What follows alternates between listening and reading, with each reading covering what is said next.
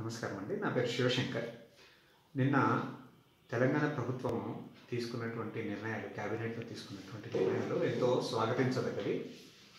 మొదటిగా ప్రభుత్వ పాఠశాలల్లో ఆంగ్ల మాధ్యమాన్ని ప్రవేశపెడుతూ అంటే సిక్స్త్ క్లాస్ నుండి పై క్లాస్లకు ఆంగ్ల మాధ్యమం ఇంతకు ముందు ఉంది కానీ ఇంకా కూడా దాన్ని విస్తరించి ఆంగ్ల మాధ్యమంలో బోధనను విస్తృతంగా గవర్నమెంట్ స్కూళ్ళలో ప్రభుత్వ స్కూళ్ళలో పెడతామన్నది చాలా హర్షణీయం. ఎందుకంటే ఈనాడు ఉన్నటువంటి పోటీ తత్వం ఉన్నటువంటి ప్రపంచంలో ఆంగ్ల మాధ్యమం చాలా అనివార్యమైపోయింది.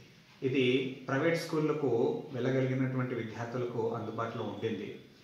గవర్నమెంట్ స్కూళ్ళకు వెళ్ళే విద్యార్థులు ఎంతో కొంత వెనుకబడితనంలో ఉండేవారు. ఇప్పుడు వారు కూడా అన్ని రంగాల్లో రాణించడానికి పోటీ పరీక్షలకు ప్రిపేర్ అవ్వడానికి ఇంటర్వ్యూస్ ఫేస్ చేయడానికి ఆంగ్ల మాధ్యమం వాళ్ళకు ఉపయోగపడుతుంది.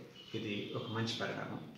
రెండవ పరిణామం వచ్చేసి గవర్నమెంట్ ఇన్ఫ్రాస్ట్రక్చర్కి ఒక ఫండ్ తీసి పెడతాము సపరేట్గా అని చెప్పేసి చెప్పడం జరిగింది. ఇది చాలా మంచిదండి. ఎందుకంటే అనేక రకాలైనటువంటి ప్రభుత్వ పాఠశాలలు ఫర్నిచర్